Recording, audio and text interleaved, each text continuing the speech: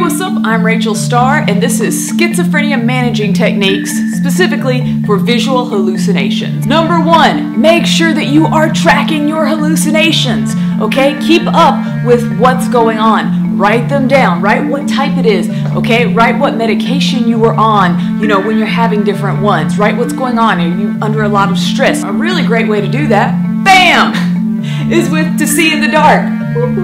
Um, this is my hallucination and delu delusion journal. Number two, for dealing with visual hallucinations, name them. What's the first thing you do when you get a pet? You name it, all right? You're um, pretty much making this hallucination yours, all right? Instead of it just being some ominous figure over there, be like, you know what? Your name is Jeff. Jeff.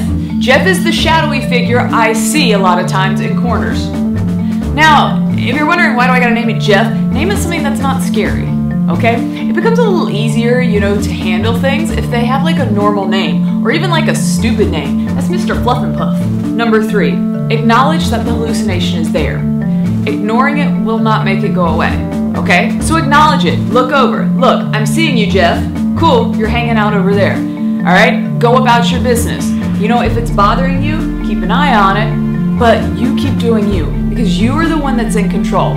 I can't make my hallucinations go away, but I can get used to them. Remember, the goal isn't to make the darkness go away, but to learn to see the dark.